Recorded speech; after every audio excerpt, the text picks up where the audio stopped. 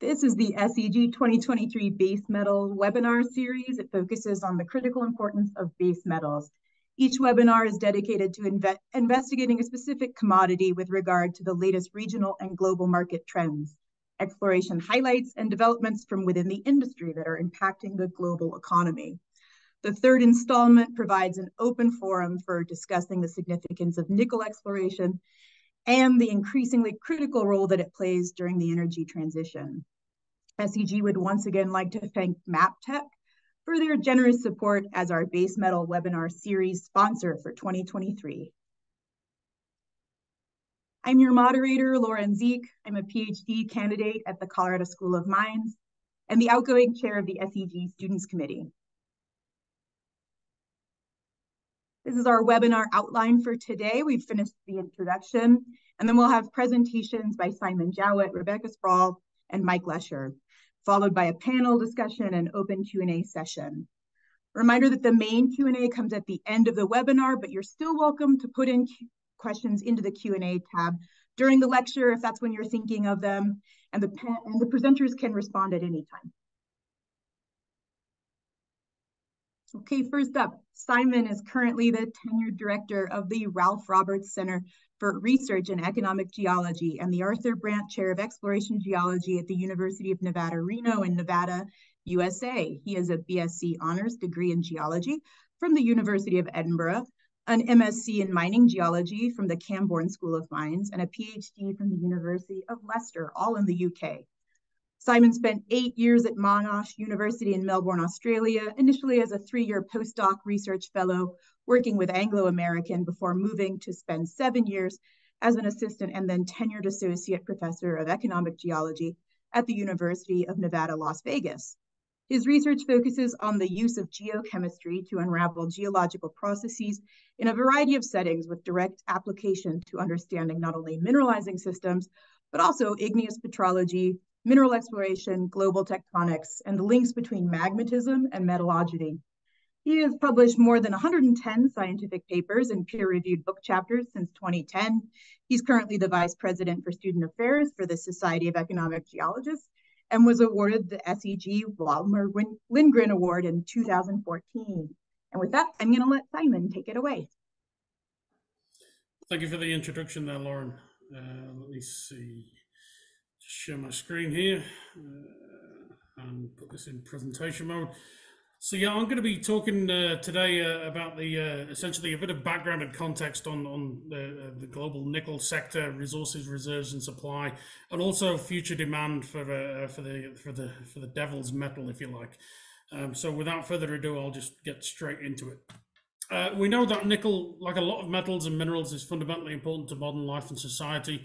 It's crucial for the production of stainless steel, specialty alloys, electroplating, uh, and it's especially important and increasingly important in lithium ion uh, battery production.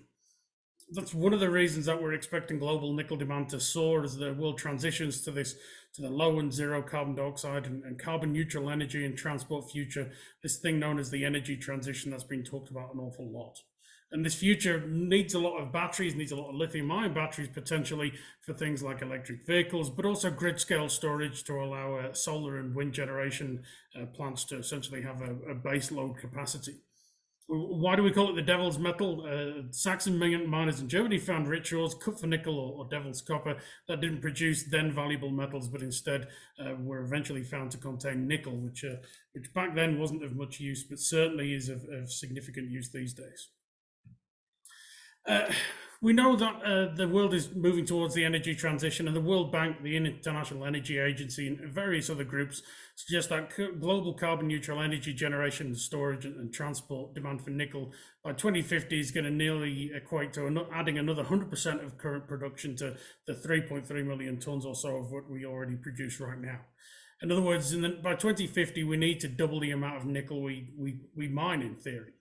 And that means that understanding the, the current nickel market and known nickel resources and reserves, as in where we actually get nickel from right now, where we might get nickel from in the future, is going to be incredibly crucial in order for us to ensure that, uh, that, that we have the nickel resources and reserves we need to enable the energy transition.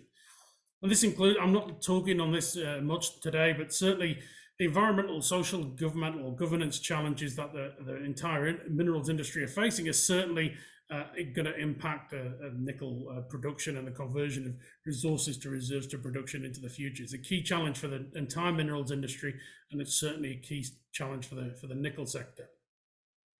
And this, this the, the energy transition we're talking about here, it's being driven by climate change mitigation, but also and perhaps more by consumer and investment spending and demand. People want things like Teslas, they want electric vehicles, they want green energy, and so on. But it's also important to realize that modern life itself is mineral and metal intensive. So before we actually jump into detail in nickel, we're just going to have a look at a, a, some wider context on, on the metal and mineral demand or intensity of modern society. So just an example of this on the on the left here, we have a, a 1980s unsmartphone, a brick, and uh, uses a, a number of elements that you can see there highlighted. And on the right, we have the thing that you might be listening to me on or have in front of you, uh, a, a, current, you know, standard uh, smartphone and the range of elements there. So what we've done essentially in 30 or 40 years is double the amount of elements we typically use in modern technology. We might have dropped a couple like beryllium and lead, but we've added a whole load to give us the essentially the the, the things we consider normal in smart technology, including uh, uh, uh, we already use nickel, but certainly we use more nickel in, in modern technologies than we have before. And this just uh, kind of demonstrates that. So what we've got here is we've got a range of elements and a range of metals and minerals, uh, a lot of which are used in battery technologies like lithium and so on. Uh, what, all of this is the data here have essentially been normalized to production in 1956. In other words, if we mined exactly the same right now today as we did in the 1950s, you'd see that everything would lie along this dashed line here along the, the one value. What you see with the exception of arsenic, uh, we uh, we actually mine significant amounts of all of these of all of these metals and minerals and, and elements than we did in the 1950s. Uh, and this just shows that you know this is this is just a, a function of uh, the metal and mineral intensity of modern life as well as increasing population. And you can see at the top there the, the amount of more nickel that we that we mine uh, now compared to 1956. But it's not just the fact that kind of world population has increases. If we normalize this to a per capita basis, as if we normalize this to, to essentially a, a global population or four global population increases, we get this. And in essence, we still see that we you know, for the vast majority of metals, especially those metals we consider important for uh, things like lithium-ion batteries, we're still, you know, every human on this planet is using more mined metals and minerals than any other point in human history for the vast majority of commodities we see. And that's especially true for metals and uh, metals like nickel, which are seeing increasing amounts of demand as a result of the energy transition. And that increasing demand, we're already seeing the impact of. So that's the kind of background and context where modern society, modern standards of living are metal and mineral intense. But the thing to think about is if we start to focus on nickel, we need to think about kind of key drivers and, and key supplies and, and resources of, of this metal that we're focusing on today. We need to think about before we get into current resources and reserves. So we should have a think about current drivers of demand. We know the energy transition is an important uh, uh, part of this, and we know what's driving that energy transition. But what we need to think about now is what are the implications for the nickel sector and for nickel mining into the future. So this is uh, initial uses of, of mined nickel uh, right now, or maybe from a couple of years ago. This is data from the Nickel Institute. Vast majority of uses from stainless steel, some non-ferrous alloys and alloy steel plating. And this sector here you see is essentially lithium ion batteries plus some nickel metal hydride battery uses. But this sector is what's going to expand into the future. We're going to see the, the essentially the same levels of demand, maybe increasing demand for stainless steel for use in the hydrogen economy potentially. But this sector here, this battery sector, is what's going to actually be driving nickel demand into the future. We're already seeing the effects of that over the last couple of years. So this is why uh, you might like or dislike Elon Musk, but he has a good turn of phrase. He's uh, just a quote here. Uh, their cell, uh, Nick Tesla cell, should be called nickel graphite because primarily the cathode is nickel and the anode side is graphite with silicon oxide. There's a little bit of lithium in there, but it's like the salt on the salad. So this is just looking at essentially cathode compositions like NMC or NCA. What you see is the cathode compositions in lithium ion batteries, certainly these compositions are very, very dominated by nickel. So uh, this is an NMC 811 battery. It's the cathode in this lithium ion battery is 80% nickel, 10% manganese, uh, 10% cobalt, hence 811. And this just these battery compositions are becoming more, more more popular as they have better energy density and better performance than a range of other lithium ion batteries. And that's why we're seen a shift from uh, essentially nickel, uh, cobalt dominated cathodes in lithium ion batteries to more nickel dominated compositions because they're, they're essentially better performance. And this has implications because this is currently what we're looking at in terms of battery uh, capacity, planned and developed battery manufacturing capacity in North America. You can see there's a, over 300 gigafactory type developments, these large battery producing facilities, like there's one just outside Reno, up here in, in Nevada. But you can see that, that this is what the capacity is kind of in North America for uh, essentially battery uh, manufacturing, all lithium ion batteries, all of which are using quite a lot of nickel. If we look at a, a typical uh, gigafactory, typical large manufacturing facility producing 35 gigawatt hours of NMC 811, so this is nickel, manganese, and cobalt in proportions of 8 to 1 to 1 in the cathode. If you do the calculations, it needs about 4,000 tons of lithium, over 3,000 tons of cobalt, over 26,000 tons of nickel, and about 3,000 tons of manganese, as well as a lot of graphite. If we compare that to global nickel production in 2022, which the USGS estimates at 3.3 million tons, that means a single large or very large battery manufacturing facility requires about nearly 1% of global nickel production. That assumes they're producing these NMC 811 batteries, and all of these battery factories are going to be doing that. But the fact that you've got over th uh, around 300 of these developments either completed, underway, or planned means that this is what's going to be driving nickel demand over the next decade plus. It's the, the fact that these, these battery facilities, as we see them right now, are going to be voracious consumers of nickel. And this is a, an estimate from Benchmark Nickel. So where we are here is right now we see uh, uh, essentially actually this uh, this is actually being superseded because we're already producing 3.3 million tons of nickel a year. And again, that demand, as was predicted a couple of years ago, was going to be batteries. But in fact, we're already up here and it's already being driven higher than the, the predicted levels in this graph uh, uh, as a result of battery demand, as a result of those cathodes that contain an awful lot of nickel. And this just this is uh, data from the uh, from the uh, World uh, World Bank again, just looking at nickel. So this is 2050 annual demand from energy technologies, primarily lithium-ion batteries, as a percentage of production in 2018. So what we're seeing is essentially a prediction that we need to double the amount of nickel we were mining in 2018 to meet increasing demand, and that annual demand from energy technologies in 2050 is about 2.2 million tons, which is essentially what we produced in 2018. So if we're talking about the demand side of the nickel equation, what's driving it is lithium-ion batteries, and uh, uh, uh the, especially those lithium-ion batteries with those nickel-rich uh, cathode compositions. The question is, can we meet a more than 100% increase in nickel mine production by 2050? And there's other drivers here as well. As I say, if the hydrogen economy really takes off, then we're going to need more stainless steel and so on. So there are some uncertainties, but whatever happens, it looks like we're going to need much more mined nickel into the future. So the question is, can we meet these increasing demands? We understand the demand drivers, but we need to think about the supply side. Uh, last year, Gavin Mudd and myself published a, a report, an global inventory of reported nickel resources and reserves of 2018. This database is freely available from Economic Geology. If anybody has any trouble finding it, you can always contact me. But what we have here is a, essentially a, a, large database of global nickel resources and reserves classified by mineral deposit type. And we can combine this with records of production to try and understand where we've got nickel from up to date and where we're going to get nickel from into the future. We know that the majority of nickel has been from laterites and magmatic sulfide systems. It was in last year about 50-50, but that's actually shifted thanks to increased Indonesian laterite production.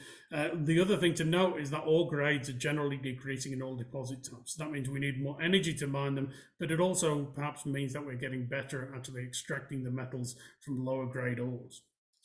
Other deposits have been mined for nickel. There's some potential in various hydrothermal systems. There's some potential if we go down to the seafloor or seafloor mining. Production from these remains relatively small, and it remains to be seen whether these can actually produce significant amounts of nickel into the future. So this is a, global nickel production from 1851 to close to the present day by country.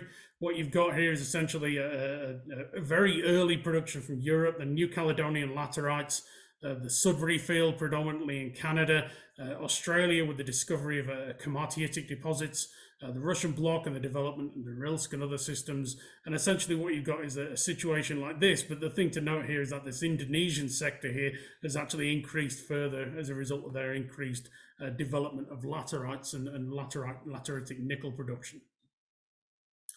This is uh, the proportion of sulfide and laterite. There's some other some other um, uh, uh, production here. But as you can see, the present day, we're roughly 50-50 or slightly over 50-50 uh, in terms of production uh, from magmatic sulfides and from laterites. Laterites are creeping up and this trend will actually continue up to here because, as I mentioned, that increased production from Indonesian lateritic resources. The database we had, we identified uh, 626 nickel deposits within ground resources and reserves, including 235 laterites, 342 magmatic sulfides, and 49 others. So hydrothermal nickel alloys, awaruite deposits, which may become important into the future, seafloor manganese nodules, and so on. These totally contain 350 million tons of nickel in resources, that if you convert all of that into current production rates of 3.3 million tons a year, could meet around 106 years of current nickel demand. But that doesn't include increased demand as a result of the energy transition. Reserves contain about nearly 50 million tons of nickel, uh, a lot in laterites, uh, slightly less in sulfides, uh, 1 million tons in, in miscellaneous reserves, uh, but the other thing to remember is that these are resources and reserves in the ground. Whether they actually make it into production or not is a function of a variety of things economics, environmental, social, and government and governmental challenges. So just because these things are in the ground doesn't necessarily mean they're going to be dug up and, and contribute to nickel production.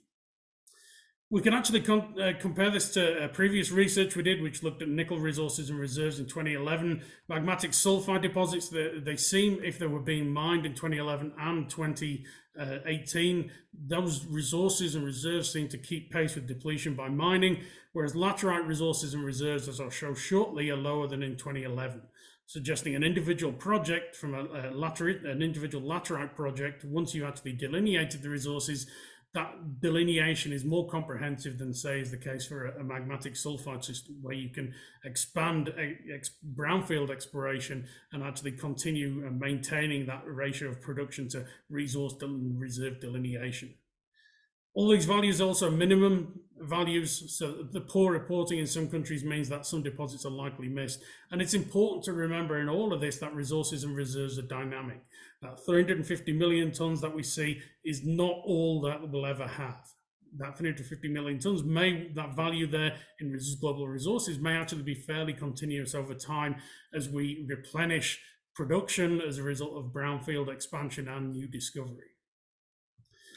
So this is just an example. It's important to remember that current reserves and resources are not all there is. This is the Sudbury deposits in Canada. What we've got here is cumulative production from Falconbridge and Inco, now uh, uh, uh Vale and Glencore. Um, what we've got here is some, the available reserves data. What you see is production is actually managed by pretty good addition of reserves and resources. Maybe a little drop off here, uh, and some of that may be as a result of a, a, lack of reporting from Vale. But what you can actually see is there's a fairly good maintenance of the, the ratio of production to reserve addition as a result of brownfield expansion. And this means that we need to not only understand the geology of these systems, but also the economic situation and the social, governmental, and, and uh, social, environmental, and governance issues or governmental issues. Basically, if you get these issues right and you actually start to go into production, it's likely that you're going to have mining success rather than your reserve or resource sitting in the ground for a significant number of uh, years and not actually making it into production. We can actually look at that in a bit more detail. So this is looking at uh, what we've got here is essentially 2011 resources. We've actually normalized these for cumulative production. So any of these producing data points, any of these mines that are producing are actually, uh, we've normalized for that production between 2011 and 2018. And we've got 2018 resources here. So in other words, if a mine has produced between 2011 and 2018, and but has also added sufficient resources and reserves to replenish that production, it would lie on this one-to-one line. And what you can see on average, most of these deposits lie approximately on this one-to-one line. So you've got a y equals 0.995x uh, value here. So most deposits actually maintain production or, or, or, or can compensate for production by the addition of brownfield resources. And this is not taking into account new discoveries in the intervening period. So this is how the magmatic sulfide equation works in terms of production versus replenishment from brownfield uh, uh, uh, resource addition.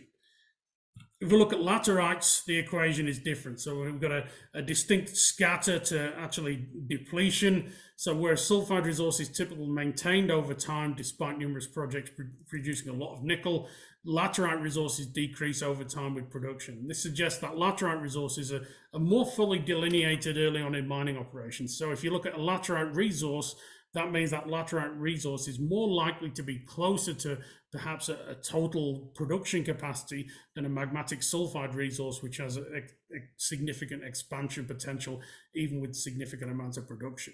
And this is important because you know both discovery and expansion can add nickel, but the sustainability of the brownfield expansion of laterites, uh, or the poorer sustainability of that brownfield expansion of laterites compared to sulfides, means that you need to actually think about what the implications of this are for modeling, uh, thinking about uh, future changes or future ability of the nickel sector to meet increasing demand via more mining. Uh, there's a few things to think about. Um, obviously, uh, if we're mining magmatic sulfides, we can often, especially in komatiitic systems, uh, generate fine-grained tailings that are, are, suitable for carbon dioxide sequestration. Uh, there's a lot of work going on uh, by uh, researchers like Sasha Wilson in Alberta and, and, Greg Dipple up in Vancouver, who've been looking at this for a long time. This is an example from Sasha, some of Sasha's work. Uh, we're looking at the Mount Keith Komatiite deposit. We've got 11 million tons of serpentinite dominated tailings being produced a year, a total resource of more than 300 million tons of mineralization. The mine alone, you know, by not actually doing anything to the tailings, you're sequestering only 4,000 tons a year of atmospheric carbon dioxide. It's probably the case for numerous other ultramafic hosted deposits. This means that mining can effectively offset some carbon dioxide produced by the mining activities that are generating the tailings. And if you think about carbon trading or, or, carbon offsets into the future, this means that certainly sub-economic nickel projects have the ability to become economic if they are in a country that actually looks at carbon trading and so on. Because you could, especially if you enhance the sequestration, you could certainly get significant amounts of benefits or, or carbon benefits as a result of that sequestration, as well as revenue derived from, from things like nickel mining. And this is why these are our Awaruite deposits may be of significant potential just because they have so much carbon dioxide sequestration potential. We should also think about byproduct potential from nickel operations. We know about cobalt, copper, platinum group elements, and so on, but there's significant other potential for byproduct nickel from uh, for, for, byproduct other deposits from uh, like uh, selenium and tellurium, and then scandium from magmatic sulfide and laterite uh, systems. Also thinking about expansion to unconventional nickel resources. But the key here is understanding the potential and how these elements behave during mineralization their deportment and their, how they behave during mineral processing. But it's certainly worth investigating these byproduct metals in some jurisdictions. So the, here in the US, we have federal tax breaks on critical metal production as a result of the Inflation Reduction Act.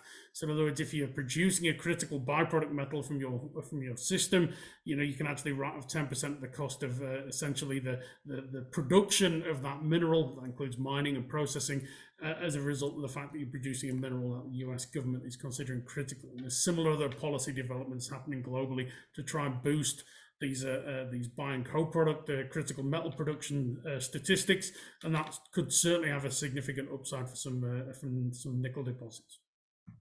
But start to wrap up. Uh, we know that nickel resources and reserves are sufficient to continue current levels of production for several decades, but the fact is those current levels of production, current levels of demand for nickel are increasing.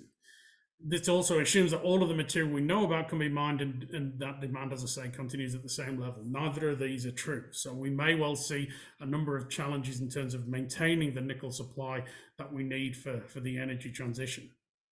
The nickel mining sector itself faces a number of challenges, increased demand from the energy transition. We talked a lot about potential supply restrictions relating to environmental, social, governmental, or governance challenges.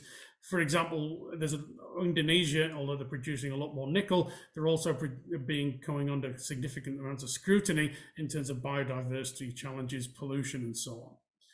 The increase in laterite supply is good also for the overall nickel sector, but perhaps not ideal for what we consider class one battery needs. So the, the nickel we get from magmatic sulfide systems is much more suited for use in batteries than, uh, than laterite nickel, which needs an awful lot more processing, awful lot more energy, may actually result in an awful lot more carbon dioxide emissions as a result of that processing and refining. This means that although global nickel resources and reserves appear healthy and sufficient, rapid increases in demand, limitations on conversion of resources to reserves to production, and limited supplies of what you might consider more battery ready nickel may cause significant supply issues. And all of this means, like the rest of the minerals industry, maybe even more so for this sector, there's certainly interesting times ahead for the, for the nickel industry. And that's it. Um, I just want to wrap up by saying uh, I've put my wrong email address on there. It's actually sjowitt at unr.edu. Uh, we have a, a, paper in economic geology last year that covers this in far more detail. I'm happy to pass on papers, this PowerPoint, and continue this discussion. And I'd also like to thank the Nickel Institute for funding this, uh, some of this research that I presented today. And with that, I'll uh, stop sharing my screen. Thank you. Thanks so much, Simon. I think that's a really great setup to the, our second two speakers.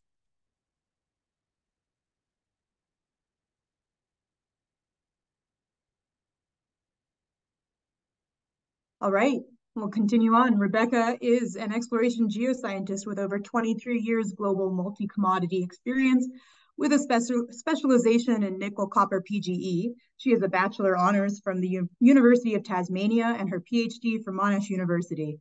She has worked on five continents with diverse experience across the exploration, development, and operations spectrum from project generation and drill outs on advanced projects to M&A on operation assets, operating assets. Rebecca is currently the nickel SME for Rio Tinto, exploration setting, technical direction, and priorities. And Rebecca, if you'd like to share your screen.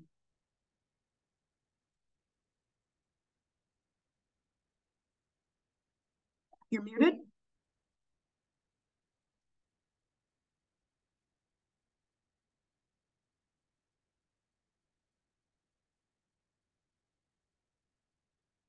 Think you're still muted, Rebecca, if you're messing around with it.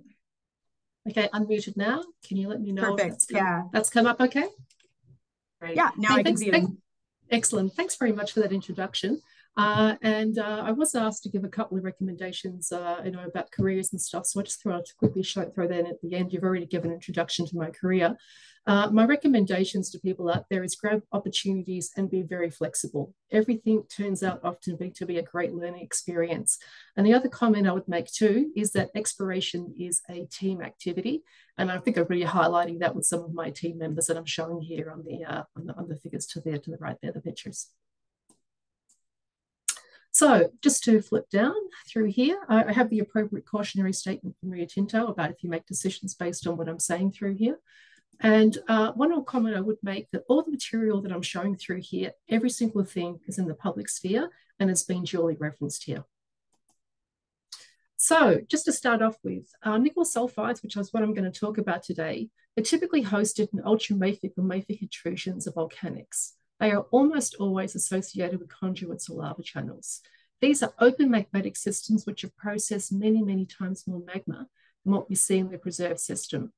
These nickel sulfide deposits can range from those that are dominated by massive sulfides, for example, as we have through there at Eagle's Nest to the left, or they can, uh, are a continuum, to those that are dominated by more disseminated deposits, sorry, disseminated sulfides, as the example shown there at Jinchuan.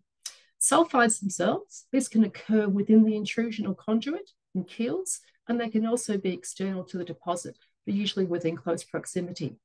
So in nickel sulfide exploration, we essentially focus on two main things. The first is that we identify the host or associated ultramafic to mafic intrusion or flow.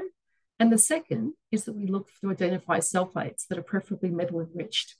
We identify the sulfide factor by direct observations of sulfides in outcrops of boulders, evidence of a conductor, and or abundances of metals by various geochemical methods that are sufficiently elevated that can only be explained by sulfides.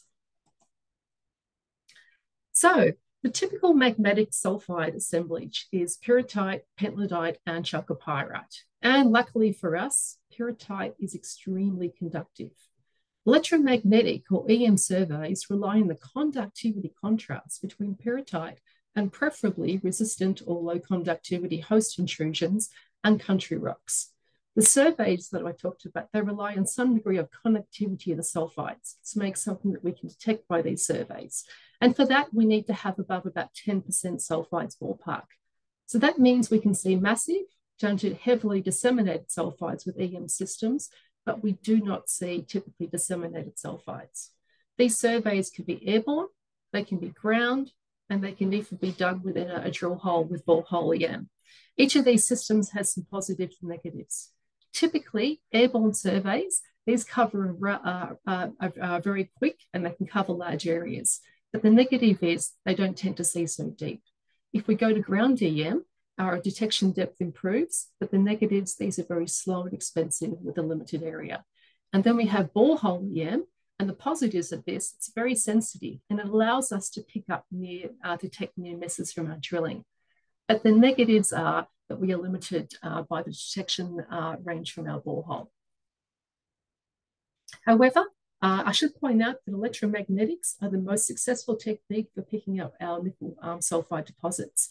But there are complications, and the dominant one is that we can pick up other conductors, such as graphitic country rocks or iron formations. So just as a quick overview of our exploration techniques, um, I've divided our systems down through here into those systems that are dominated by massive sulfides versus those that are dominated by disseminated sulfides. And I've also further divided it down to thin cover and thick cover. Um, so remember we talked about before that exploration essentially comes down to picking out a host ultramafic or mafic intrusions um, and then detecting sulfides. So what this basically means, if we look at our geophysics, and I'll describe this down through here, we can, in green, this is where we're starting to look for a host intrusion. And we can do that with magnetics and we can do that with gravity as well. Um, then when it comes down to, uh, I should point out through here, magnetics is particularly helpful when we're talking about serpentinized ultramafic rocks. These are very, uh, have a high strong mag signature that we can pick out very well. In mafic systems, where we don't often have that mag advantage, we can use instead gravity. Surface geochemistry is largely ineffective under thick cover. However, it can actually be very effective when we have areas of shallow cover. If we're talking about massive sulfides, you want to have very tight spacing. If we're going down to disseminated sulfide, uh, sulfide deposits, we can tend to have larger um, uh, spacing because of the large footprint that we have. And finally, prospecting reconnaissance can help us find the road host rocks, gossans, and particularly sulfides if we have uh, shallow cover. We rank targets based on multiple lines of evidence. We can make a discovery based on a single one of these lines of evidence, but we tend to favour those that have multiple, both geochem, geophysical, and prospecting results. Uh, I should point out that discoveries involves a multi-pronged team approach and is also very highly specific for ge different geographic regions and commodity styles. So just to put down that exploration sequence that we talked about. Um, so uh, first of all, to start off with, our first tool that we'll use is we're going to do our airborne mag. We're going to often do our airborne EM and maybe gravity, but that's less common. And we can do that in thick and thin cover. That's going to let us pick up our ultramafic rocks, and it's also going to let us, if we're lucky, pick up a conductor or maybe even a sulfide geochemical response. We then split out on the left-hand side here where we go through to those systems that are dominated by massive sulfides. In this case, we're going to start to think about ground EM. We're going to be looking for those conductive bodies. And then if we'll drill and with borehole EM, uh, if we miss something, and hopefully we'll make a discovery with other dancing people down through here. And then if uh, from that, we'll enhance our discovery by further borehole EM and drilling. Over in the right-hand side instead, we're dominated by these disseminated deposits. Uh, we'll tend to, we may do ground magnetics and ground gravity. We might do some prospecting, thin cover, we'll do some geochem, but we tend to drill a lot quicker. And then again, we have our dancing people, we're making discoveries and we'll continue to drill. We may go back and pick another area to continue some of our further surveys. So that just gives you the general overview of what our, our, our prospecting sequence is. So here we're showing a graph of discovery rates or the number of discoveries versus time And we're actually picking this out, whether those discoveries that are due to prospecting in blue, those that are due to geophysics in red, those that are to geochemistry in green, and finally extension and known deposits in brown. So when we look at this graph, the first thing that we can take away is our discovery rates for nickel sulfide deposits are truly uh, declining over time. But the thing, other thing that we can take away from this is that geophysics is the dominant and most important discovery method that we have. And in general, we also note too that prospecting and mapping have dropped in time as we tend to be looking at greater depth by and large.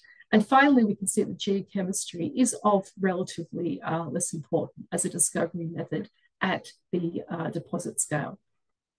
So now I'm just going to take you through a couple of different systems.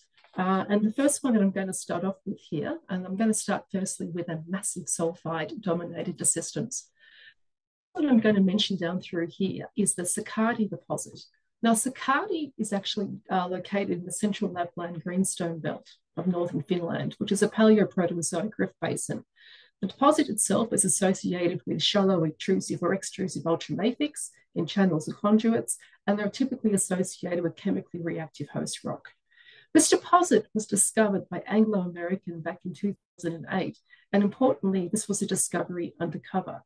So, exploration here was originally looking for Pechenga analogues, and the discovery effectively involved them identifying an ultramafics by using magnetics, as shown down through here in this figure on the left-hand side. Uh, however, in this area, there is very limited outcrop, as shown by an example of a, not the exact same swamp, but a nearby swamp in Finland. Um, and so because of this, they actually moved to doing uh, systematic base of till um, drilling, where they sample um, the weathered bedrock base of till over that magnetic feature. And from this, they ended up picking up strongly anomalous copper, nickel, and also not so anomalous, but still anomalous uh, nickel, uh, sorry, copper, PGE, and uh, nickel. So one thing to note with this uh, deposit is that airborne EM and standard ground EM did not detect any conductors or sulfide. Despite this, they still drilled this um, uh, project and they ended up with their discovery in 2008 on the, uh, the seventh drill hole. Subsequent and more sensitive ground EM systems, such as SQUID, actually did end up picking up massive sulfides. And that's because the massive sulfides only start about 350 meters below surface. And just to show you some examples of what the ore looked like, we've got a picture there of the massive ore and also some of the stockwork ore, which is a bit more peripheral to the main body. So next we're going to flip over to the US, uh, to um, Tamarack uh, through here. So again, Tamarack is another uh, deposit that's associated with quite swampy ground. It's actually located in the Mesoproterozoic mid-continental rift at about 1.1 GA. Uh, and mineralization itself is composed of massive to semi-massive to net textured sulfides associated with an ultramafic conduit with two dominant uh, peridotite phases. One's got coarse-grained olivine and the other one fine-grained olivine. So this deposit was discovered by Rio Tinto Exploration in 2008, and since 2014, it's been managed in the JV with Talon Metals. So the ultramafic intrusion was first picked uh, using magnetics, which we can show here on the left-hand side through here. Uh, and this is actually originally noted by the Minnesota government. And remember, ultramafics, when they're serpentinized, they tend to form magnetic highs. Early drilling of subtle EM anomalies intersected minor disseminated sulfides. However, the overlying uh, fine grained olivine unit, which you can show, see through there on the right hand side in the purple, is actually slightly conductive, which really complicated using ground surveys, and the results were not particularly successful. However, the first significant mineralization of massive and semi-massive sulfides was actually found in 2008 on the 48th and 52nd drill hole, respectively. Subsequent borehole EM has actually been a critical tool in identifying and auditing the further resources. And you can see a lovely picture down through there of the massive sulfide with some loop textures and some lovely pentlandite eyes. Next, we've got the Nova Bollinger discovery. So we're flipping down to Australia now, a very different part of the world. The Nova ore deposit is located in the Mesoproterozoic Albany-Fraser orogenic belt, and mineralization is associated with a melagabbronorite. This deposit was discovered in 2012 by uh, Sirius Resources. The initial targeting was based on the recognition of a single regional soil nickel and copper anomaly generated by the Geological Survey of Western Australia. And detailed targeting was focused over that eye-shaped mag feature that you can see there on the left, which actually turned out to be a refolded fold. The host ultramafic and mafic rocks themselves are not particularly strongly magnetic relative to the granulite facies country rocks that are adjacent to. Gravity is somewhat helpful, as you can see a bit of a high through there uh, from the middle figure through here. But the area, what's important about it, and this picture you can see down through there are some gum trees in the terrain, the area has relatively thin cover and the soil is largely residual, turned out to be ideal conditions for soil geochemistry. And you can see there on the right-hand side, we have the copper uh, and nickel in soil response, highly elevated over that um, eye feature that we're talking about. So what they did next, they followed this up with ground EM and they identified a couple of strong conductors and they started relatively shallow at about 150 meters depth. And these were importantly below the strongest nickel and copper soil anomaly. They modeled this up to produce a Maxwell plate, which is a proper uh, tool that we use to identify where the uh, conductor is appropriately. And that's shown down through here as that plate on the bottom right-hand side. And you can see across where they drilled that conductor in the central figure, and uh, they intersected that and they ended up making the discovery on this project. And just to show a couple of pictures there, you can see, so I should point out that most of the mineralization in this system is actually sulfides that have migrated down into the footwall metasediments. But we do end up with quite um, magmatic looking textures in terms of the fact that we have these lovely um, uh, loop textures that develop in pentlandite. And finally, just for something, uh, not, well, finally, the massive section, I should say, I'm actually going to throw something in that's a little bit different to the rest. This is not a magmatic sulfide deposit. It is likely actually a uh, um, IOCG, and that is the Jaguar deposit that's located in Brazil. And this is most likely going to be the next tier one nickel sulfide deposit. It's located in the 2.7 GA Carajás belt in Brazil, and discovery year was 2007 by Vale, and it's currently held by Centaurus Metals, uh, which is an ASX listed company. So Vale actually started exploring this area back in 2004 for magmatic nickel sulfides, and they noted nickel soil anomalies over discrete mag features. They also noted that they had coincident mag and EM or conductor responses, but the target was subsequently downgraded because they recognized that the host rocks were in fact not ultramafic. But they came back in 2006 to actually pursue a, um, a uh, copper um, soil anomaly over an elongate mag feature, looking for IOCG, and they ended up in their fifth drill hole intersecting 50 meters at 0.8% nickel.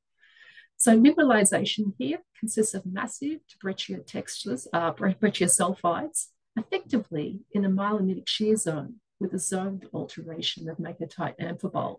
And this gives a very strong mag signature. So what we actually end up with is something that is a geochemical soil response, a MAG, EM, and IP. And uh, you can see through here in the top right, that's that shear zone that's effectively mineralized that we're talking about. And here we have an example of what some of the massive mineralization looks like from this uh, unusual IOC deposit, IOCG nickel sulfide deposit. Now we're going to flip over to some disseminated systems. The first one I'm going to mention down through here is the Kevitsa deposit. Now, Kevitsa is hosted again back in the central Lapland greenstone belt of Finland, and it has a similar age to Sakatti at around about 2.05 GA. The deposit is composed of really metal-rich disseminated sulfides hosted in a large ultramafic to mafic intrusion. And mineralization is up there in that purple area is typically associated with the most ultramafic portion of this intrusion. The discovery here was actually made by GTK, which is a Finnish geological survey back in the 1980s to 1990s. And really it revolved around very systematic detailed mapping, ground mag and gravity, picking up the large host intrusion, and then also followed up by a lot of map, further mapping and identifying surface boulders um, and a strong base of till anomaly. So just to talk through, you can see in the bottom left through there, we've got some of these mapped outcrops. I know it's a bit hard to read, but I just wanted to show you in the figure this, um, that the prospecting and mapping here was critical to picking the um, weakly mineralized surface expression. They have down the bottom there in the middle, they have this uh, uh, base of till, nickel, and copper anomaly. MAG was helpful to pick out the host intrusion, as you can see at the top right. In the center, gravity was helpful. On the other hand, EM through here was not helpful. And that is because this is a disseminated sulfide deposit. They do notice those conductors, but that's actually not the mineralization they're looking for. The mineralization that hosts here is this very finely disseminated sulfide that you can see there on the top left. And then finally, we're going to mention the Nebo Babel discovery. This is located again, and we're back in um, uh, sort of in, in, West Australia, more toward the centre. And uh, this uh, deposit is hosted in the 1060 Mesoproterozoic um, uh, West Musgraves block in Australia. It's largely composed of disseminated for some very minor massive sulfides, but it's inside a gabbro-norite conduit, as I've shown down through here in this cartoon. The deposit is located under thin sand cover and does subcrop a little bit locally, and it was discovered in uh, 2000 by Western Mining. The area was first identified as a region of interest based on lithospheric architecture mapping that was strongly developed and pushed by Western Mining. Then lag surface sampling at relatively high resolution identified nickel and particularly also copper anomalism that they followed up on. AEM as you can see in the top left through here, sorry, top right, did identify some sulfides, but was quite complex due to some paleo surface paleo channels that were mildly conductive. But one of the big problems with this area is that the host gabbro-norites are really difficult with mag to actually pick out from the country rocks. So what they did here is they actually ended up using airborne gravity with the Falcon system. And with this, they could well uh, identify very well the host gabbro-norite intrusions. And the discovery was about 26 meters at 2.45% nickel and almost but subsequent drilling has showed that the deposit is largely dominated by disseminated sulfides. So just some learnings to take away from this. Discoveries are mostly based on multiple lines of evidence, including mapping, surface geochemistry, magnetics, gravity, and various EM types. Geophysics is the key technique for nickel sulfide exploration, both for delineating um, uh, the host ultramafics and mafic intrusion, and also for direct detection of massive sulfide dominated mineralization. I should point out that early collection of geophysical property data that is your density, conductivity, and magnetic susceptibility of the country rocks, your host intrusion, and sulfides. This is really important. This is a priority because it allows us to design, have an optimal design for geophysical programs. Geochemistry can be a useful tool for screening geophysical anomalies, particularly for uh, separating out your EM anomalies. And I should point out too that borehole is a critical tool in discovery and expansion of existing resources particularly as the exploration space is deepening with time. And then just to talk about some future directions down through here. Firstly, we have remote sensing, uh, particularly moving into hyperspectral satellites, and that will allow us to remotely start to pick out the right geology context and get a better understanding to look for important structures and also to look for important country rocks too. Then we can go down to the geochemical uh, arena and that is particularly uh, as we now have increased availability of MLA, we can start to do a lot of work in resistate indicator minerals, for example, in tills and stream sediments. And that includes mineral chemistry for fertility, which, for example, can be zone pyroxenes or nickel with an olivine. I should point out both of these do have abundant false positives, but can still be useful. And also we can move to into direct detection, looking for pentlandite grains in till or stream sediments. And finally, we can also have hydrogeochemistry as well. For geophysics, uh, I, have mentioned a few things about uh, EM. Uh, there's a lot of advances always happening, particularly in the borehole EM space. But one thing I'd like to point out is uh, doing passive seismics. And this is being undertaken by groups such as Fleet Space, and we can also have active seismics. They can allow us to image the intrusion and structure, that is the host system. And we should point out too that sulfides have lower velocities. So you actually potentially can pick up your sulfides as well. And one big, very obvious comment that I will make is that machine learning and AI, this is really a very important game changer. And it's allowing us to interpret large data sets, integrate these um, from multiple data streams, which allows for very fast turnaround time. And I will leave it there so much, Rebecca. All right, perfect. I think that was a great commentary on how important geophysics can be in, in discovering and exploring for these systems. We'll go now to our next speaker. So Mike Lesher, BSc and MA from Indiana, PhD from Western Australia, is a professor emeritus in, of economic geology in the Mineral Exploration Research Center and the Harquail School of Earth Sciences at Laurentian University, where he was research chair in mineral exploration founding director of MERC and director of the Mines Initiatives, Mining Initiatives, designer and founder of the Laurentian School of Mines, now Goodman School of Mines. He has worked on nickel copper PG deposits in Brazil, China, Manitoba, Ontario, Quebec, Russia, and Western Australia. Chromium deposits in Northern Ontario, the geochemistry of felsic volcanic rocks associated with VMS systems, gold deposits in Ontario, Western Australia, and the Southern Appalachians, and sedimentary iron deposits in Labrador, Quebec. He has been a, an SEG Thayer Lindsley lecturer, a CIM University lecturer, and was awarded the GAC MDD Duncan Derry Medal for his contributions to economic geology. Okay, and with that, I will let you take it away, Mike. Thank you, Lauren. Get things going here.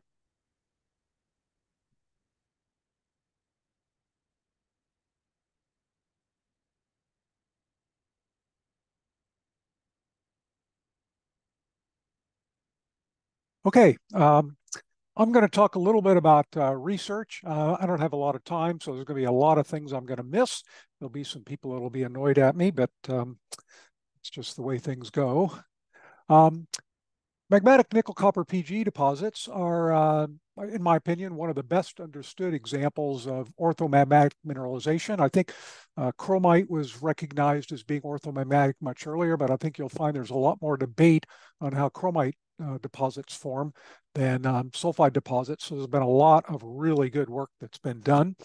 Um, and it's also the archetype, um, I think, of a mineral system um, was back in, well, the, the 80s that uh, Tony Naldrett recognized that, in fact, this the, the generation of a deposit of this type involved partial melting down in the mantle, transport up through the crust, uh, emplacement in a variety of different environments, that there are various things that went on to, um, let me see if I can get, uh, um, try.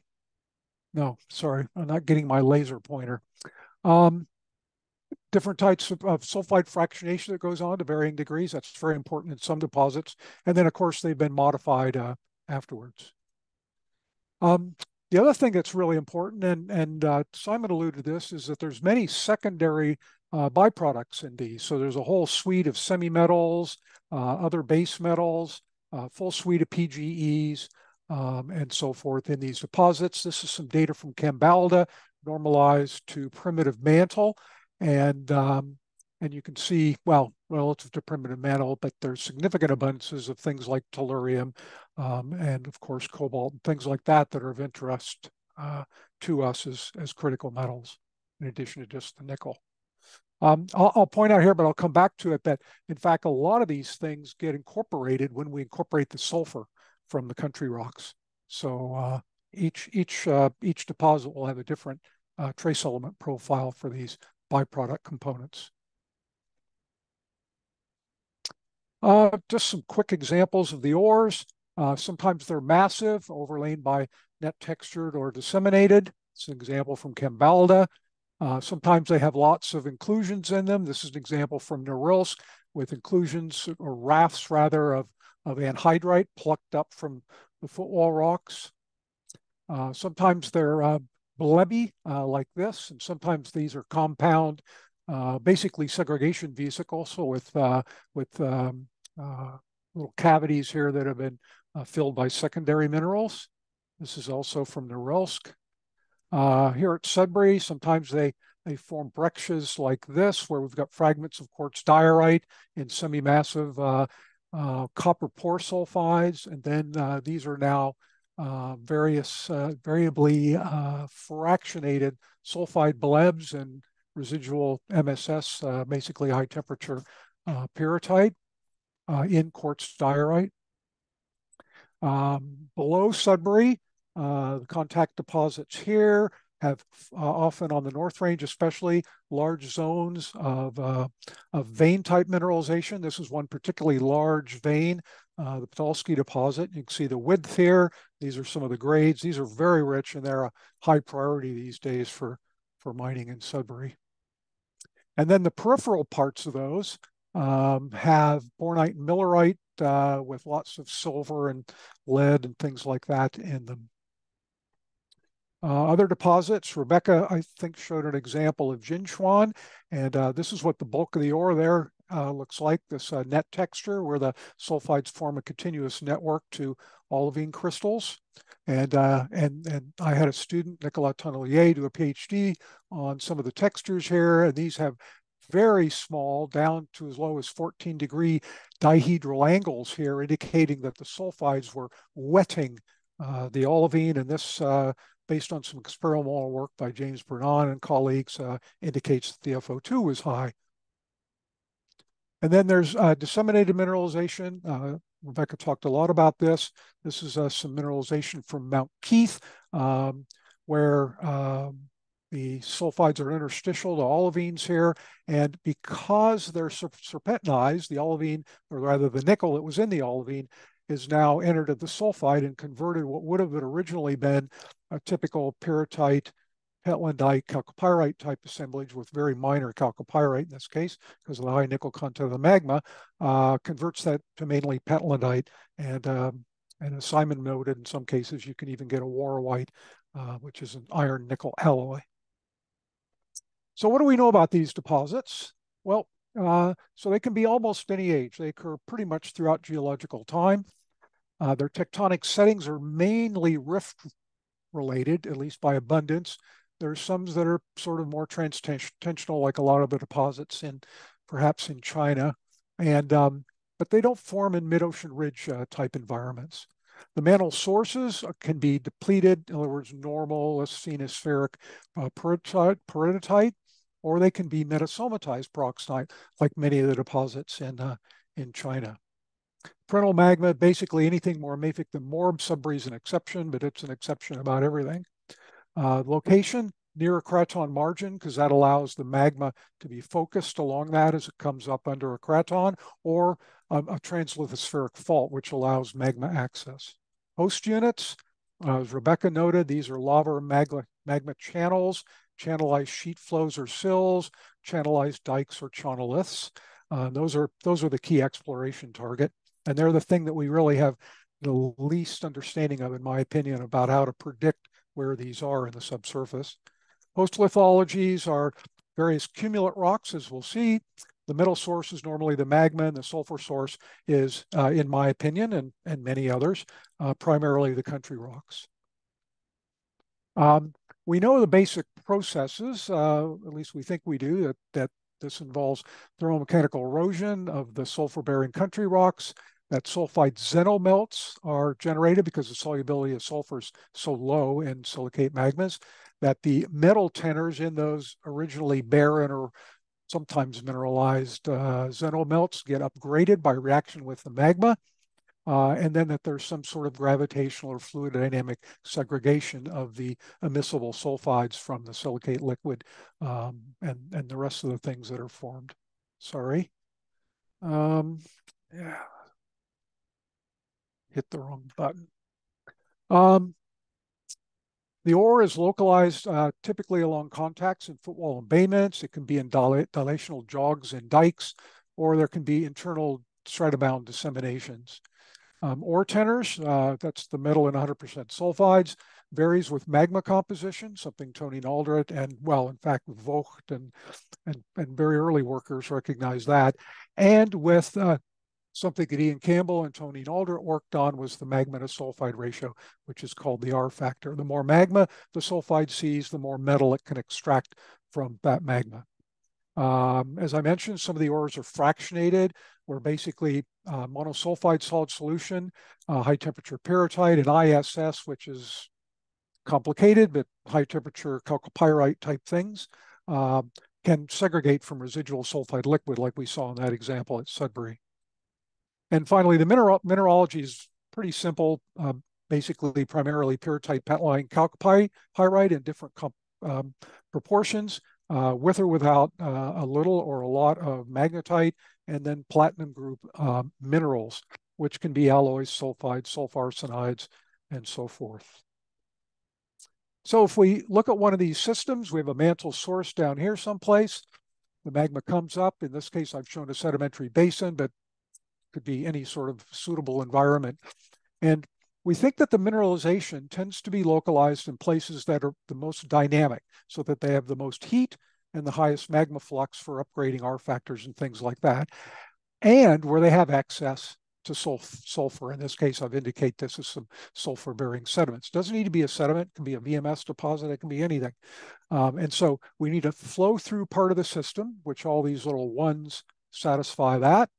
Um, uh, blind parts of the system, like up here where this comes up here, down here, even if it intersects sulfide, won't be dynamic enough to be able to incorporate the sulfur from the sulfur source. So that's not good.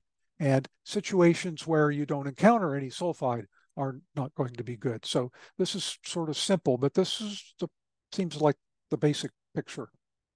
And the hard part, as I mentioned, and the really hard part uh, is, is understanding this part of the system, being able to predict, uh, if you can't image it easily, uh, the locations of, of, of, these parts of the system. And of course, this is all extremely complex. Every intrusive system is going to be completely different. And there are so many variables that it's almost impossible, well, literally impossible to, uh, to model these. Uh, the host units that Rebecca talked about. Um, so this is sort of a, a, a, scheme here of different shapes of things, and the ones that are the, the, the, the more channelized tend to have more cumulate rocks in them. Uh, they may or may not be differentiated. So these blues are meant to be gabbros, and the purples here are meant to be peridotites or dunites. So the, those are the ones that tend to be the most mineralized, basically the channelized things. And all the things in here, no matter what the shape, uh, that are either undifferentiated and non-cumulate or just differentiated and non-cumulate are, are not going to be mineralized typically. There are some small exceptions, but not very many. So this is the basic model. It, it's essentially the same for an extrusive situation as an intrusive situation. The magma comes up, it incorporates uh, sulfur from the source. It's flowing turbulently, or it could be laminarly as it turns out, but, but you know, it's flowing uh, enough so that it's able to um, thermomechanically erode the uh, the sulfur source. Um, and and it, there's uh, typically a small thermal aureole in an extrusive system, but a much wider thermal aureole, like at Norilsk, for example, in uh, in the case of intrusive deposits. Sometimes it's not so obvious because if, if it's intruded at depth, then there's not much of a temperature contrast uh, with the country rocks. But if it's intruded at high level, as they were at Norilsk, then you, you see a very large uh, metasomatic and thermal aureole some recent research, and again, I I haven't list begun to list any of this. I've sort of, um, you know, there's a, lot more pe people working on some of the more exotic magma types like Dave Holwell, or working on very deep deposits like Marco Fiorentini, or uh, Sarah Jane Barnes's and, and Sarah Dare's group at uh, at the University of Quebec at Chicoutimi working on mineral chemistry, and uh, of course uh, Wolf Maier and Will Smith's work on on layered intrusions. That's that's all great. I know less about that, so I'm not going to talk about that. I think some of the most important things are understanding the nature of those intrusions, which I talked about. Physical transport of sulfides, there's been a lot of recent research on that. Uh, it's becoming quite sophisticated in terms of the type of modeling that can be done. The role of gas bubbles in aiding the uh, the, the transport of sulfides, we'll see that uh, that has some interesting consequences. Um, I've been working on volatilization of sulfur and other things at Sudbury, and it turns out I think there's some implications for other deposits too, because it's going to change their byproduct uh, uh, element profile. And then um, Michel Houlé at the GSC and I have been working on a more exploration-oriented uh, deposit classification, which isn't that big a deal, I guess. Uh, classification schemes are not hugely useful, except I, I, think this gives you a way to at least focus the way you might look at uh, the deposits because each one in a different class is, is slightly different. And, and what we do now is looking at them in ways that are, makes them not so different. So um, settling, just really quick, uh, sulfides are more dense. They have a density of about 4, 4.2 uh, grams per cc. And um, if you do the settling calculations, a one to two centimeter sulfide droplet would settle along this line here, and at this size here, one to two centimeters would be something that could be supported in the magma and carried up uh, during, uh, you know, magma ascent at, at typical velocities. Um, olivine grains are much more easily transported, but that, of course, is why you see lots of olivine phenocrysts in magmas and very few sulfide droplets in magmas. I'll come back to that. Um, it, transport's very different when it's vertical than when it's inclined and when it's horizontal. When it's vertical, basically, you know, all the all the flow is straight up and you can support little droplets like this or little bubbles of the silicate melt can go down with the sulfides. And depending on the rate at which things are going up, you can carry those things. Same applies to chromite. When you tilt things, then things become very different and you get a slug of sulfide that of course is much larger and it's going to settle much more rapidly. And then uh, you can basically get complete countercurrent flow uh, when you when you have it inclined enough. Horizontal transport is much easier. There's a really fantastic paper uh, by Yao Mungall um, on on this, doing doing some modeling, and uh, basically, you know, I think sulfides can be transported horizontally under almost any kind of flow uh, in a variety of different uh, mechanisms. Um, so that that's pretty easy. Um, I think anybody that's ever worked on these deposits would recognize that that the sulfides are generated upstream and, and end up downstream trapped in, in topographic lows. But this creates a paradox. So fine sulfides are should be transportable and normal magmatic descent rates, and they often occur in some volcanic intrusions. But if you look at the deposits and, and, and where there are mineralized intrusions and where there are overlying lavas that are related to them, there's, there's either no sulfides in those lavas, or if there is, those sulfides have formed there, like at Kambalda, for example. Um, I guess there's no intrusions below Kambalda, but they formed it in lavas, or if we go to the Abitibi belt, there's intrusive and, and extrusive deposits. But if you go around the world and look at flood basalts, for example, and the intrusions that feed them, Norilsk is a good example, and look in the intrusions, you can find lots of sulfides at Norilsk in the intrusions, and there are none in the overlying lavas. In, in fact, there's there's no indication that there ever were any, and I'll come back to that a little bit. So there's some potential solutions. There's a whole list of them here. I talk about them in this paper. And the only two that are worth considering, in my opinion, or that weren't as easily dismissed, is that sulfide droplets may have been lost due to degassing. In other words, that we may have been able to bring sulfides up and they may have been in those lavas, but then they degassed and and and and so the sulfur was lost. And that explains that we can move sulfides around, but that in fact they they, they were lost from the lavas and only retained in in the intrusions. And the other is that sulfide settles as settled as slugs, pseudo slugs, or uh, pseudo layers. So the degassing can can can be uh, excluded pretty easily on the basis of the platinum group element contents. And so this is the the amount of palladium in the in the bulk magma, and this is the amount of palladium in in a, in a sulfide droplet. And what you can see here is is that 10 ppb is a normal sort of palladium content for a magma, you know, within an order of magnitude, uh, or well, much less, by a factor of two maybe.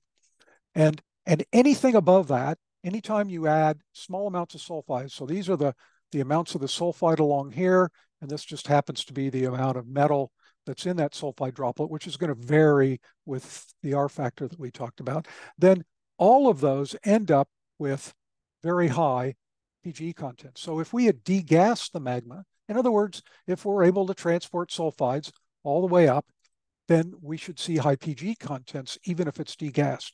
And we don't see that. If you compile the data and look at it, look at flood basalt data, then, um, then they're not enriched.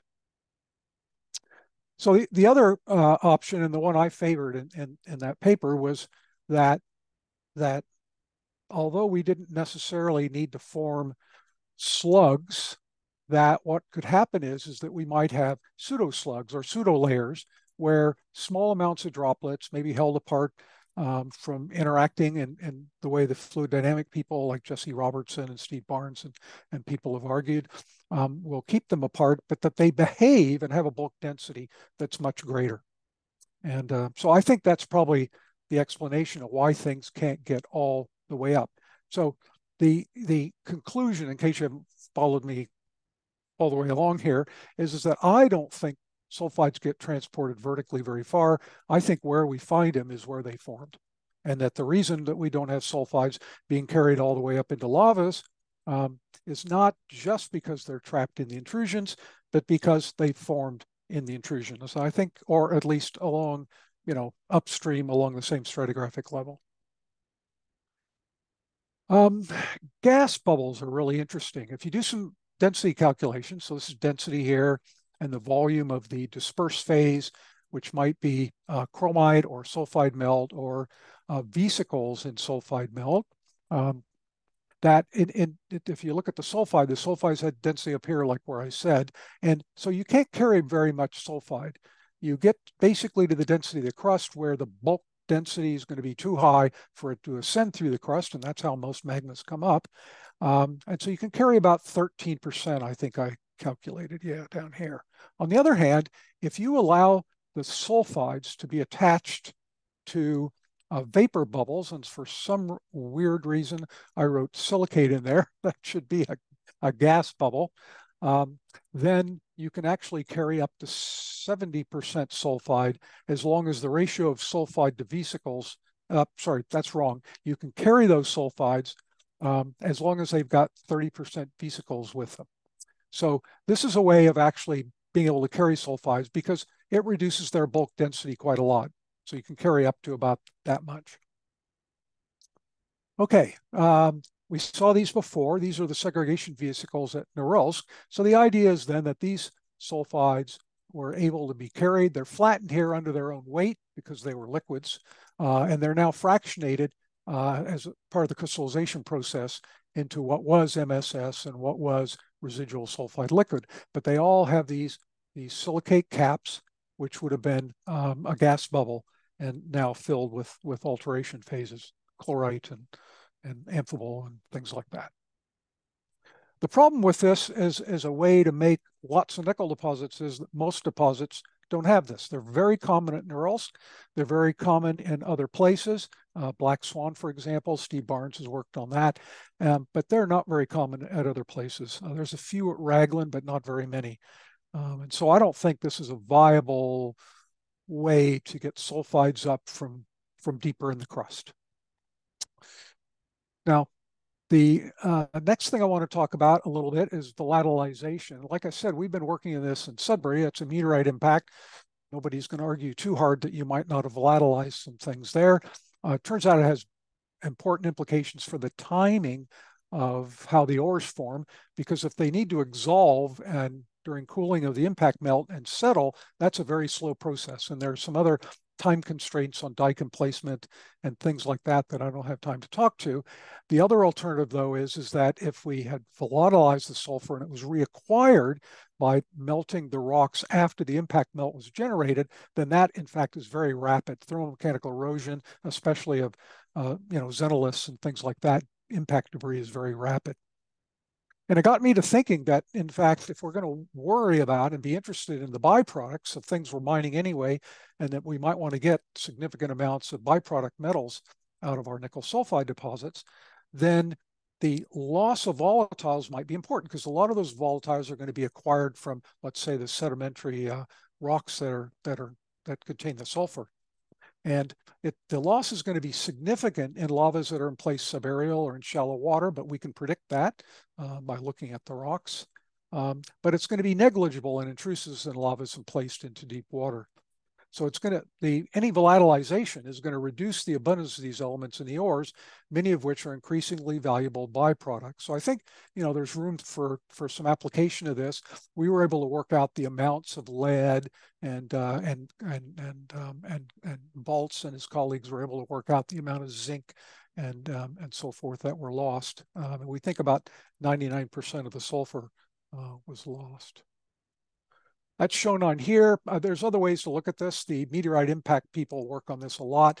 Uh, that's the diagram I often show. This is a plot of the amount of uh, all these things in the gas phase and in the silicate melt.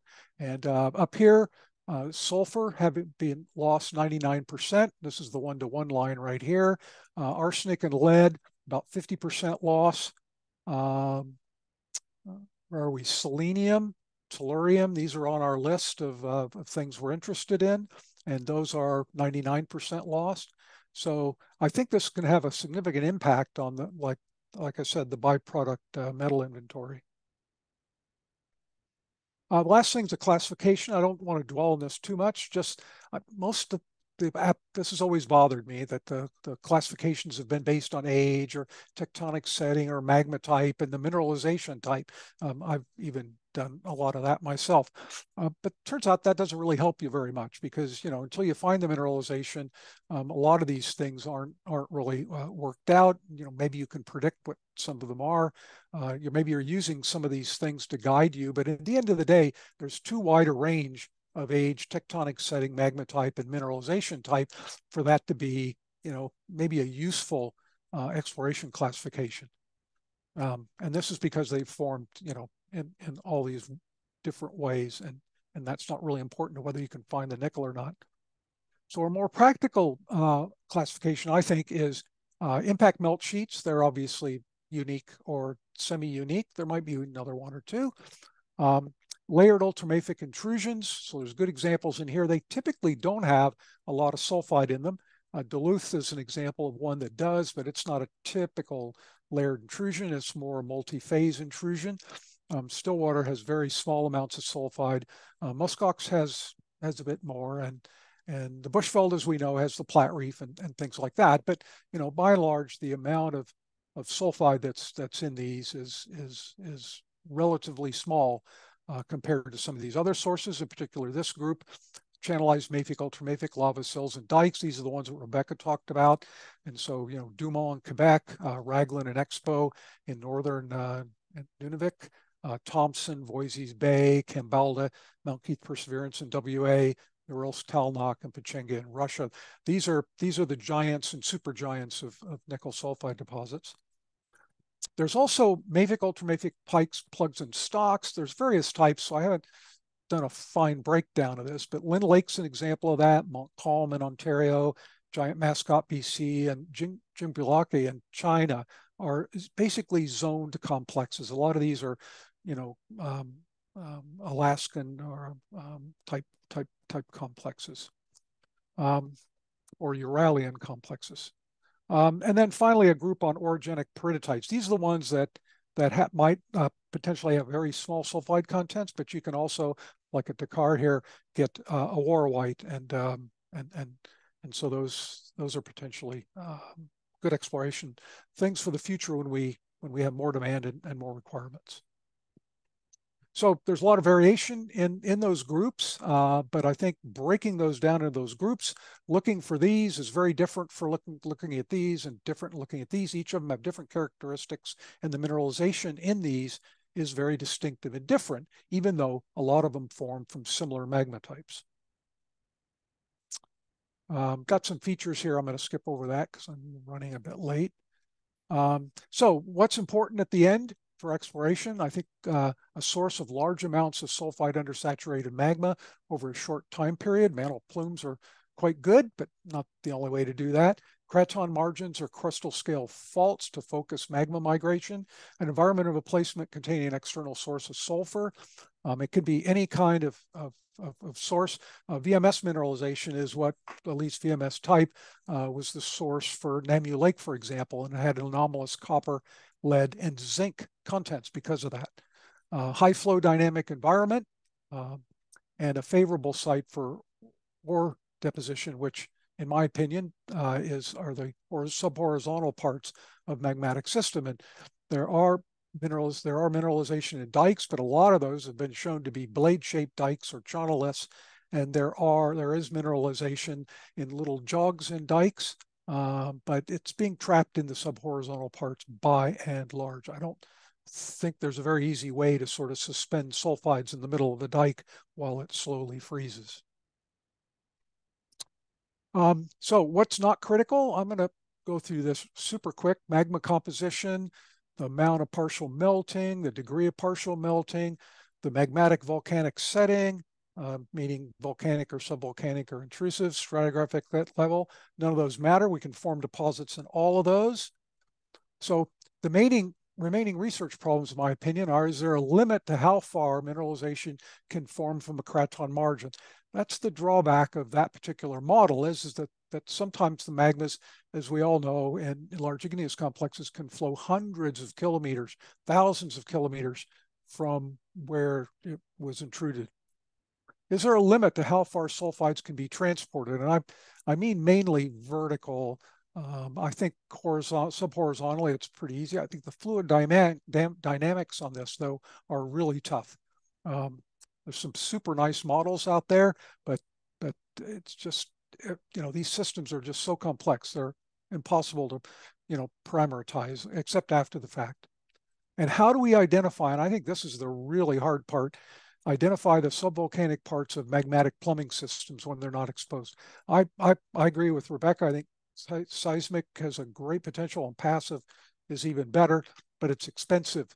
Uh, so expensive that they don't do much of it even in Sudbury. And um, I, I, don't know if they do any in, in, in, in Russia, but uh, there's some being done in WA, test cases, I think, but um, anyway, I, I think that has the greatest potential. But until we're going to treat these things like oil fields, um, and and the value is going to be similar to an oil field, um, well, that may change too. Um, then I think seismic's uh, going to be tough.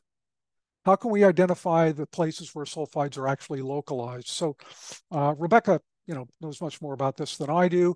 Uh, magnetics and gravity and, and EM should be in there, of course, are are really only useful for shallow shallow massive ores.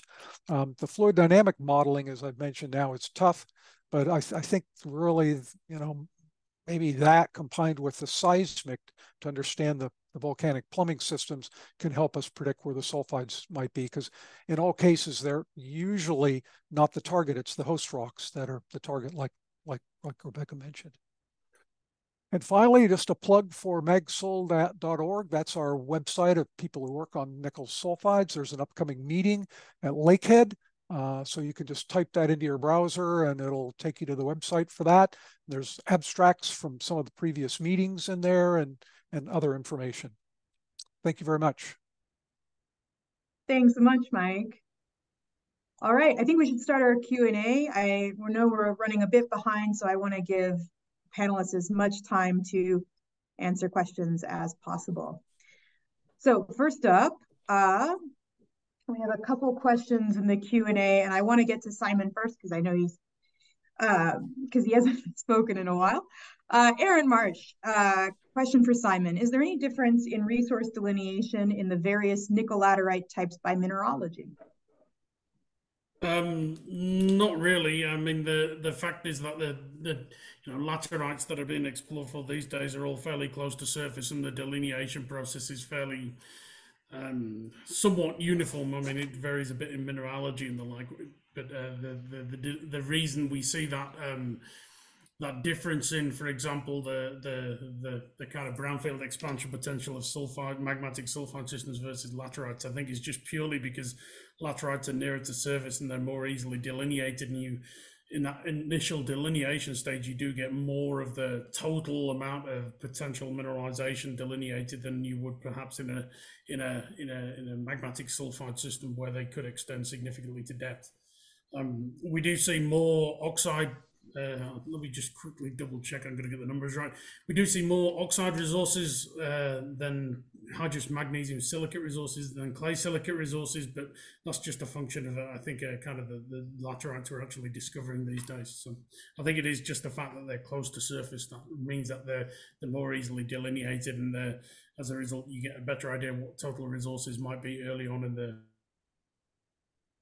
Just to add another comment down through what Simon's saying, we have to be very careful to actually make sure that we're delineating the differences between our oxide zones and our saprolite zones and our clay zones, because you know you've got pretty tight feed from what can go in. There can be quick changes, and depending, you know, really getting that tight. I mean, in a way, sulfides are different to to laterites. Laterites easy to find, but processing wise, it can be quite restricted. Sulfides, on the other hand, tend to be, I'm not going to say more uniform, but a little bit easier. So uh, getting that transition right and getting that drill spacing down that allows you to actually pick up that granularity and differences can be very critical and getting those interfaces right and where those changes occur. Yeah, I think that's a good point, Rebecca. And do you want to speak somewhat to the difference in exploration techniques um, as to sulfides versus laterites and, and, and what your uh, what your stance might be sometimes on the ESG impacts of both? Uh, look, uh, uh, I'll, I'll, I'll uh, look. I'll just make the comment that in terms of if we're looking at um, sulfides versus laterites, we're looking at about a five to ten times increase between uh, like as much like 10, five to ten times more CO2 emissions for laterites versus sulfides. So there's a very, very big difference. Uh, we also have the difference too, of course, that uh, we have uh, increased tailings by and large from um, for most laterites. Uh, um, and we also have a much larger footprint, which then in turn tends to actually come back to what biodiversity impacts. However, saying that, we do know where the laterites are, which means that it's easier to provide supply versus sulfides are typically more of a challenging asset to, to, to identify. But very much as noted by Simon, when we find a sulfide deposit, most sulfide deposits tend to really grow after initial discovery. I think that's a good point and kind of goes into a, uh, another question that we have in the chat um, and either for Simon or Rebecca as you see fit. Uh, is there sort of an impact with low grade nickel laterite deposits? What could be the impact of technology development in as far as maybe in situ recovery? I mean, it, it, it's the case for any mineral deposit system where you have a, essentially a, um, an increase in um, uh, production capacity. What you might see is a, uh, in the case of nickel, we're going to see we're already seeing increase in demand, and if we bring more low grade nickel laterite on as a result of say hydrometallurgy and thing developments and so on, then uh, that would just act to make that demand. And if we don't have increasing nickel production full stop, we're going to potentially run into trouble in terms of uh, um, uh, meeting what we need for the energy transition and so on. So I think um, uh, any developments we see, whether it's um, enhanced production from awaruite deposits or, or low-grade nickel laterite deposits, I think is going to be a positive boost for making sure we can we can meet the challenges of the energy transition. And, and I'll probably just make one more comment about in situ um, uh, leaching technologies. You're going to have to be very careful where you do it. Um, obviously, like uh, as uh, Simon uh, was saying, a majority of the world's laterites that we're mining right now and look to mine in the future are particularly in places like Indonesia and Philippines. And these are areas that are very seismically active and also have quite uh, challenging uh, hydrological regimes, very, very large rainfalls. So in terms of in situ leaching, um, I mean, that, that, that can be a negative through there. And obviously a positive will be that you will have a significantly smaller footprint and you're also going to reduce your tailings down. But you'd be wanting to be quite careful when you're doing it, you know, having in situ leaching in a, uh, a seismically active zone, that could be uh, uh, a little bit challenging. Absolutely. And more, I guess, on the, the processing questions, is there uh, any reason to look at the waste dumps and ongoing mines, and is there a potential there for low-grade material recovery? I think so. I mean, there's a global move to look at mine waste these days, and um, for either metals we missed the first time around or critical metals that we didn't weren't interested in, and the same applies for kind of the low grade nickel you might find in mining waste uh, that uh, was mined for other commodities. So I think there's a a huge range of opportunities in mine waste, and essentially uh, uh, uh, you get a two for one because you could remove environmental problems as well as securing increased nickel or, or any metal supply. So certainly there's there's scope for looking at uh, wealth from waste uh, globally. Yeah, totally agree. It's a real win-win, isn't it? You know, you uh, get to make money while you're potentially cleaning things up, and then uh, also leads into some of those extra, uh, you know, uh, CO2 sequestration that you were talking about before, Simon, as well. Absolutely. I think we have we have time to answer a few more questions if our panelists can stay on, but they can drop as they need to. Um, and we want to be respectful of everybody's time. So I know there's quite a lot of questions that were generated by Mike's talk. So I'm going to scroll through here and um, there's actually one from Greg Waters that Rebecca earmarked for answering too. Thinking about komatiites, though not entirely exclusively, what are your thoughts on using calculated R factor as analogy for specific sulfur saturation systems, implications being separating individual komatiite flows? I'm going to put that to Mike, actually. I, that was an accident. I was trying to answer a little bit of it, but that's really in Mike's wheelhouse. Yeah, absolutely.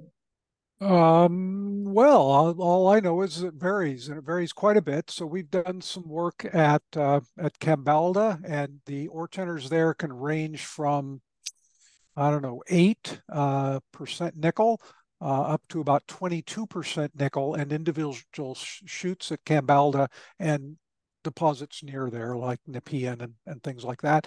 Uh, the same at um, at Raglan. Um, I don't have the numbers quite as well on that. Uh, they they're not as high because the magma wasn't as magnesian, but the R factors at Kambalda range from about 100 to 500, and the R factors at Raglan varied from about 300 to 1100, calculated two different ways, once by me and once by Sarah-Jane Barnes using completely different methods.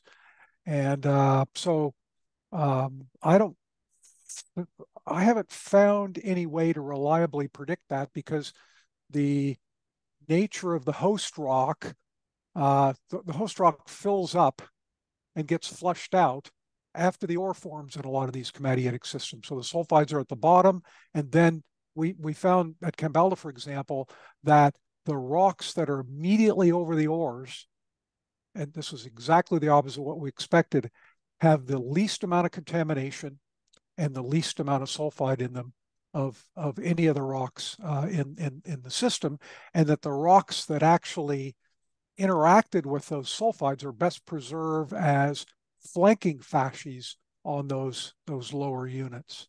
So there's, I guess, I guess the bottom line is, is that when you flush out the channel like that and reset everything and then crystallize all the olivine after the sulfides, then, you know, being able to recognize, you know, how dynamic that that lava channel was becomes difficult. And Mike, I um, know. Oh, go yeah. it. Well, I was going to do there's one other one that I was typing furiously that didn't answer very well um, about uh, the deposit where VMS Horizon. That was Namew Lake, N-A-M-E-W Lake in Manitoba. It's south of Thompson, unrelated to Thompson. There's a paper in economic geology with Tom Menard as the senior author, 1996. And uh, there's also a little bit of a discussion on it with a better model from improved thought and methods uh, in, in my 2017 paper in Ore Geology Reviews. Great, thanks. I know you were talking sort of about the, there's no problem for the sulfides to be trans uh, transported uh, horizontally, but we have a couple questions in the chat about their vertical transport. So you can you talk a little bit about the impact of pressure change from lithostatic to hydrostatic, what effect that has, and then maybe also the effect that the solubility change as a function of pressure has. Yeah, so we've known for, since the work of Rick Wendlandt, which was re reproduced by Hugh O'Neill and John Mavrogenes, um, that the solubility of sulfur actually decreases, sorry, increases, increases as you decrease pressure. So in other words, if you're carrying little sulfide droplets up from the mantle, which is what we thought happened way back, uh, what happens is, is that those will be dissolved on the way up. Now, the solubility of sulfur in a magma, and this is really important, is very small. It's like 1600 ppm in a komatiite, it's closer to a thousand in a basaltic magma. So you simply can't dissolve much sulfide in a in a magma. And no matter what you do to it, if you increase the pressure and increase the solubility, or decrease the pressure, sorry, decrease the pressure and increase the solubility, or increase the pressure and decrease the solubility, then you know, in a chamber that's filling and pressurizes and depressurizes and all that, that's still a minuscule amount of sulfur that's going to ever be exsolved. You're never going to exsolve it quantitatively anyway, uh, no matter how you uh, how, how, much you uh, you know contaminate it or or change its composition. Um, looking at some of the others. Can I add a little bit? There might be so well? many that you need to type answers to. I'm going to ask one more question, I think, and I think both you and Rebecca can answer. Um, what's quickly add a little bit more through there, by the way? Um, redox oh, yeah. changes, not just from sulfur, are also probably very important as well, because that can have an impact in us changing from uh, sulfate to sulfide. And that is probably particularly important for examples like Sakatti, where we're quite shallow. And also that inverse pressure relationship that Mike's alluding to, that means when you're shallow, it takes a lot more effort. The sulfide saturated, probably more contamination. When you go deeper, it probably doesn't take very much effort to actually contaminate it. So there are some quite differences in what is triggering or the, the type of contaminants as well. So that's what we that's what we're noticing, and that's an area that we're actually trying to understand better. Great, thanks so much. So the question that I wanted to get to um, there's so many in the chat, so if you guys can type answers, go for it. Um, is there a relation to PGEs, the entire suite, and nickel minerals? Um, and what, if so, are there better geophysical tools to hone in on higher grades? Maybe Rebecca, you can take that one. Uh, so look, one of the things, and Mike's, uh, uh, maybe this is a, a, bit in the Mike's view, but I'll quickly say this. Um, there's a difference when you've got komatiites, the highest, uh, um, uh, those with the uh, highest degree of partial melting, they tend to have low, like sort of not the highest PGEs, you go down to this kind of sweet spot where you're talking about things that are high MGO or uh, komatiitic basalts, you know, like the 18 to like around about, you know, 12% MGO on the parental magma.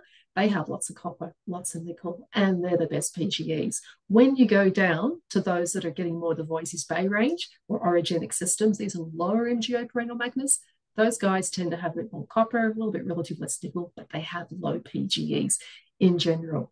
So in terms of detection techniques, um, it, look, look that, so, so, so actually just dialing that back from what I was saying. So in terms of looking for those PGE systems, it's a matter really of probably focusing on the direct kind of composition that you want to have.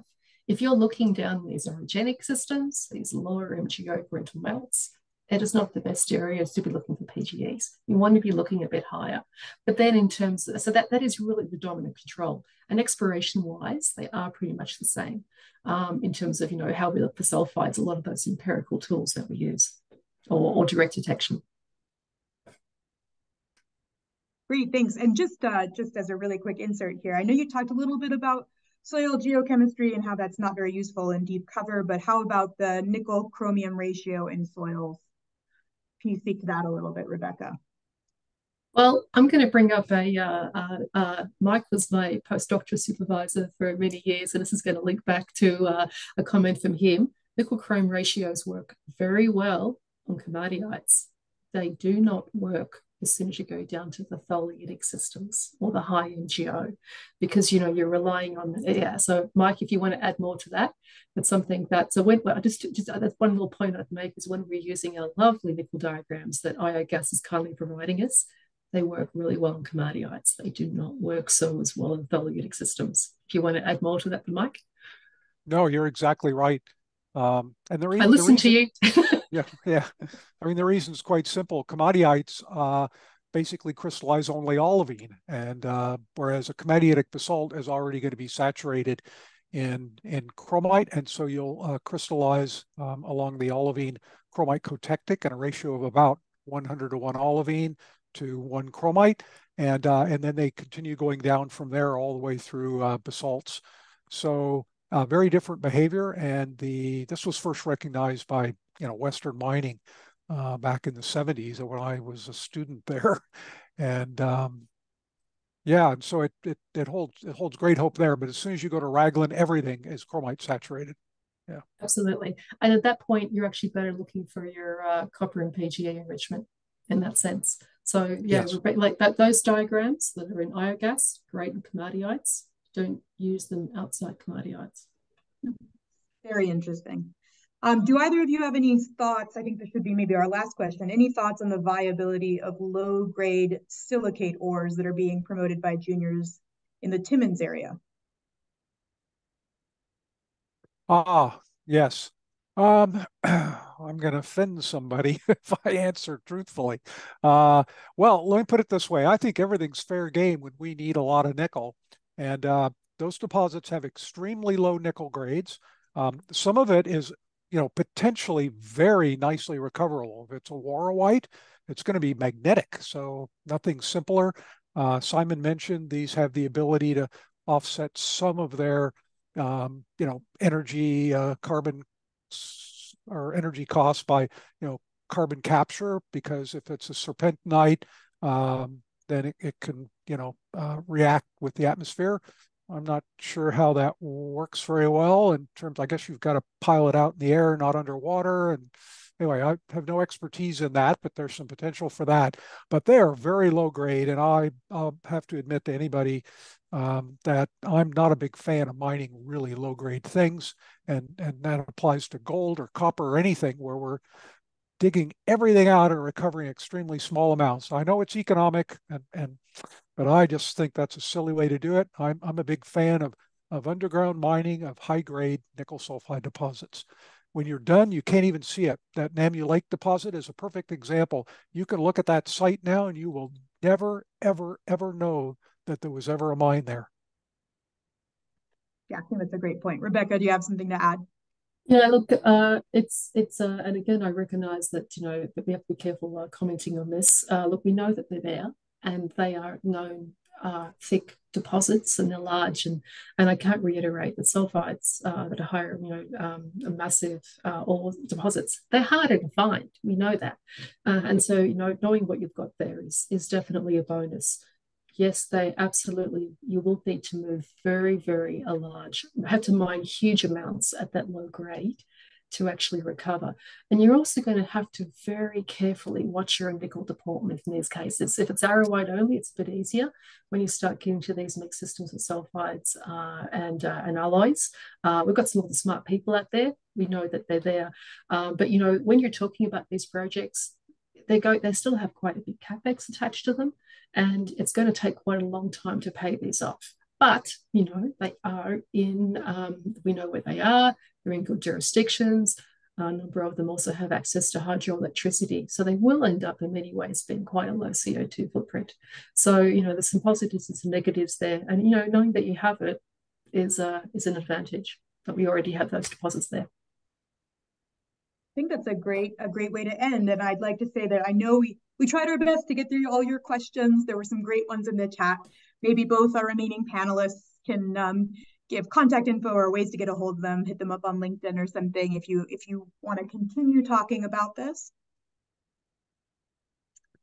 Yeah. A plug for a few upcoming events. Oh, Mike, did you have something? Well, I was going to say I, I I put mine on my my address on my presentation. You can just Google me at Laurentian. Happy to answer questions anytime.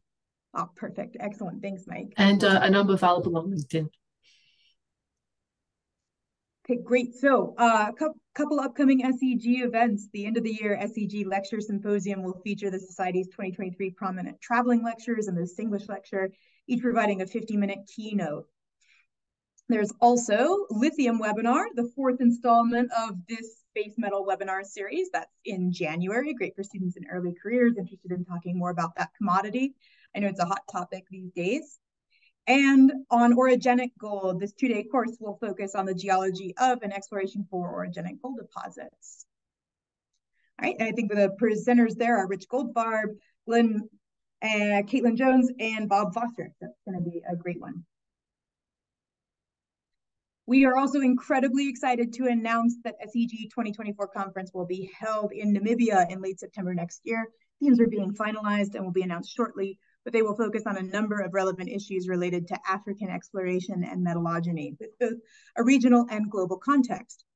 It's a great opportunity for students. I've been to all the SEG conferences I can get to, uh, early careers and seasoned professionals to come and really immerse themselves in the uh, truly ge geologically unique and culturally vibrant part of the world. And there are currently planning, we are currently planning to offer seven day field trips throughout the region. So definitely look for those when they're posted. And this is a reminder that as you're exiting, please take our survey. And thanks again to our sponsors and our sponsor, Maptek, and our panelists, Simon, Rebecca, and Mike. Thanks, everyone.